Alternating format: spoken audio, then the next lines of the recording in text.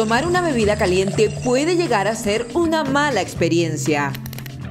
Por eso la empresa californiana The Joseph Company, especializada en tecnología y alimentación, acaba de lanzar un sistema con el que pretende solucionar el problema. La primera lata del mundo que se enfría sola. Se trata de una iniciativa que ha logrado un reconocimiento especial de la NASA y un premio de la Agencia de Protección del Medio Ambiente. Funciona a través de una revolucionaria tecnología que enfría automática la bebida de su elección en apenas un minuto, sin usar electricidad, energía o hielo. Se enfría al hacer girar una pequeña pieza en la base del recipiente antes de voltearla rápidamente.